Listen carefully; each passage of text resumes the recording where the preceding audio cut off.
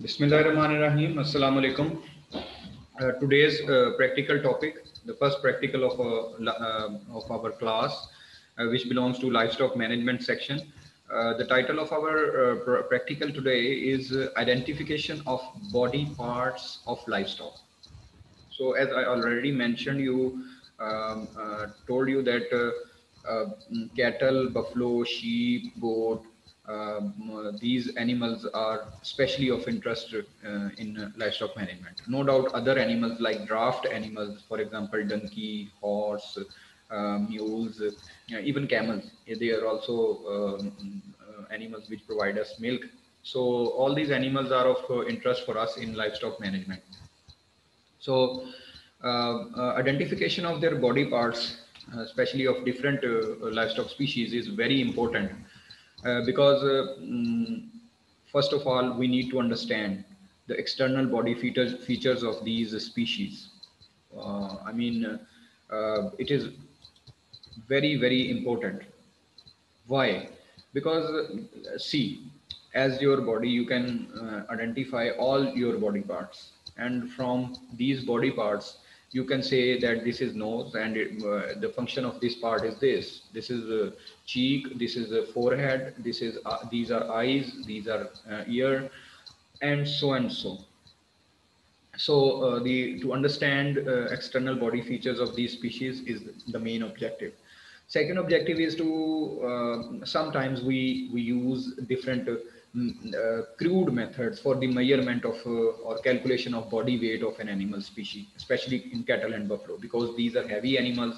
And if we don't have uh, larger uh, scales, uh, measuring scales or uh, weighing scales, we then use some crude methods for the body weight measurement. So the second point to understand is to these external body features because we use these uh, dimensions or use these external body features for the measurement of body weight. And thirdly, mm, uh, the most important uh, objective of this practical is to judge animals for their selection. See, whenever, uh, when we know that uh, the different body parts of uh, an animal, we can predict different traits of animals. For example, if we are going to buy a cow um, and uh, definitely the objective is to get milk, then we would uh, focus on milk veins, milk veins, uh, the, the, size of the udder and the distribution of veins. The more the veins are distributed and uh, the dense these uh, veins are, the higher the mm, uh, production milk production will be. So these are some traits which are relevant to uh, the animal productivity and hence ultimately we we get get help from these body features whether we should select these this animal or not.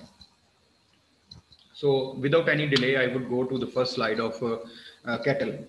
So cattle basically uh, the different uh, parts of uh, cattle are i would divide this whole see first up to neck the head portion up to neck, uh, we can observe here some poles, pole like uh, or singo ke liye jo जगह hoti hai usko poll कहते hain. Uske ye poll hai. And this one is forehead, and the bridge of the nose, muzzles, and then nostrils, the jaws, upper and uh, uh upper and lower jaw. Then comes the throat, and here is the neck, uh, where its uh, neck ends the shoulder uh, blade starts. Uh, basically, this is the whole shoulder, shoulder, kande. And uh, at the, I mean, the point of shoulder uh, below, uh, there is a skin hanging uh, below this, from this point is known as dewlap. And below, or above this dewlap, there is a brisket. Just at the rear end of this brisket or rear side of this brisket, there is a joint elbow joint elbow joint because leg will start from here. So um, in the leg portion if we we i mean focus on the different body parts we can see that from from from the ground to up. Uh, the first part which is uh, uh touching the ground is sole sole of the uh, feet.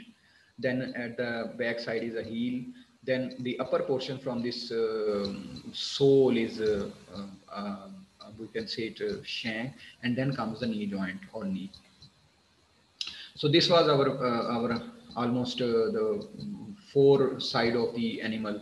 Then as we observe the animal from the back side from sorry left side we can see that here is a chest cavity or chest floor. And uh, from this chest floor um, uh, on its uh, upper side there are some um, uh, there are, are ribs. So ribs. Below these ribs we can very clearly see the milk wells and milk veins. So mammary veins milk wells uh, all these things are present in the uh, lower belly, uh, belly portion. And these are leading towards the udder and udder has two parts the fore udder and rear udder rear uh, fore udder actually is uh, in front of the uh, rear legs ये jo पीछे वाली टांगे हैं उनसे आगे होता and uh, uh, rear udder is basically at the rear side of the legs. So therefore, these are known as uh, um, fore udder and rear udder. Each udder basically um, has four teats in case of cattle and buffalo, but in case of sheep and goat, only two teats are present. Uh, coming towards the backside of the animal, just here is a, pin, a tail head, and from where the tail is, uh, uh, I mean, moving down, uh, there is a place for uh, support to the tail and two, two, two points basically pinpoints are uh, are arising on both sides. So these are known as pin bones. Just below that portion is the thighs. And if we look at the tail there is a tail tail end. This tail end is known as switch. So um, these are some different um, parts starting from front to lower side to the back side now from the upper side if we observe all these things basically it has uh, the uh, back of the animal has basically two parts main two parts. Starting from just at the end of the neck there are uh, uh it starts its uh, back up to the hip bone where its hip starts. And from where the hip starts till the uh, tail head or tail side um, there is a rump. So this one side is known as the rump and then here just before overall the back contains two parts the chine and loin mm, area.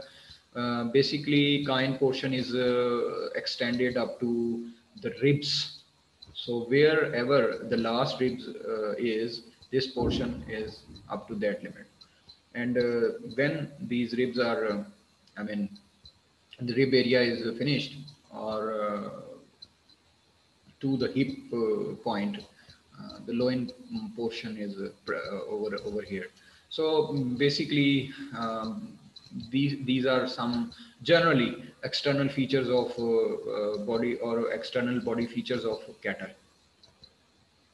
Here, okay, I just want to share one thing and make it um, want to make it clear to all of you because uh, uh, cattle, buffalo, all these species, even including sheep and goat, main body parts or features are same, along with some um, some exceptions.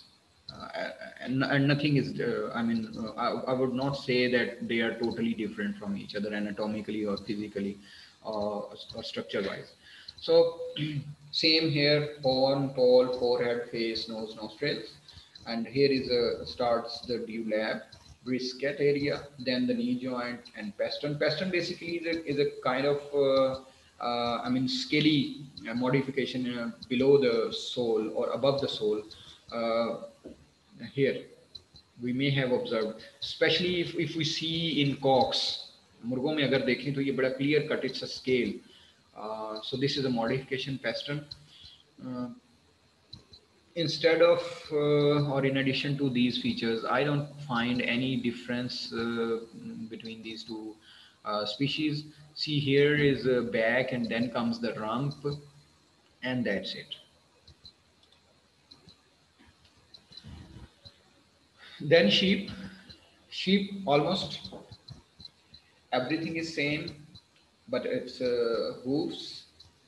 Hooves are there and um, yeah mammary gland structure is different because it contains two teats. The udder of the sheep contains two teats.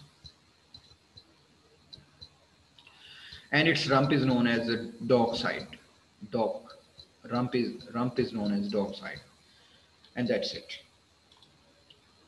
Coming towards the gourd see um, uh, almost all these uh, structures are are almost same um, I don't find any uh, clear-cut uh, difference in the um, external body features of the goat as compared to sheep, uh, cattle, and buffalo. Okay, the last thing is the identification of body parts of chicken.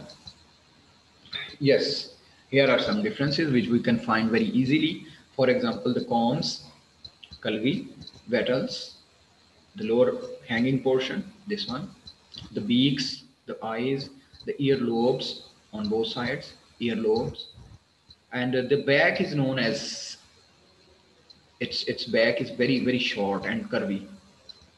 So at the back, at the almost end of the back, there is a saddle here, the tail, and uh, in case of uh, cock or the male uh, the chicken, uh, its, its tail uh, uh, feathers are like sickle feathers. Okay, the toes or claws are over there here, and then comes this point is known as spur. This this upper point. Um, you may remember in cattle or buffalo is a pedestal. Uh, this one is uh, known as spur in case of uh, chicken. So shanks, hock joint, and then here is a hackle. Uh, this one portion, see, extended portion is uh, basically uh, the hackle, hackle feathers. They are very much extended in here and um, both share this breast and. But in case of female, I mean uh, the hen, uh, at the back of, uh, at the end of the vent, it is it is covered with fluffy feathers, very very very fine feathers. So this is known as fluff and uh, I think all these features are I mean uh, you can see uh, here. Uh, there is no uh, extraordinary features which uh, which are I mean we can find from this um, picture or this slide. So if all of you have some question first of all thank you for listening to me clearly and peacefully